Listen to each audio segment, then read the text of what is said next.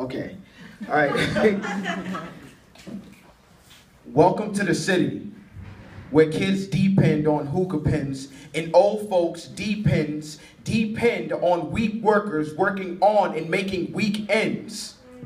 You see, friends, our youth never get a glimpse of the truth.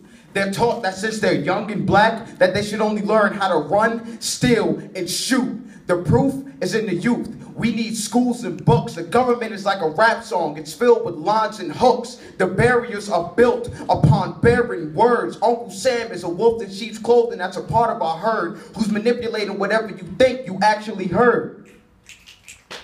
But welcome to a place where the roads are cracked like the heads of fiends. A place where parents literally alters reality because certain colors make other believe that you're on a street team. A place where the turmoil for single mothers constantly sinks in as the government says they're thinking, but in actuality they turn their heads the opposite way over money like Lincoln. Mm. But welcome to the city the home of the capitalistic, narcissistic, pessimistic, twisted, convicted, oppressed, and suppressed people that have learned to digest the lives they lead. The city.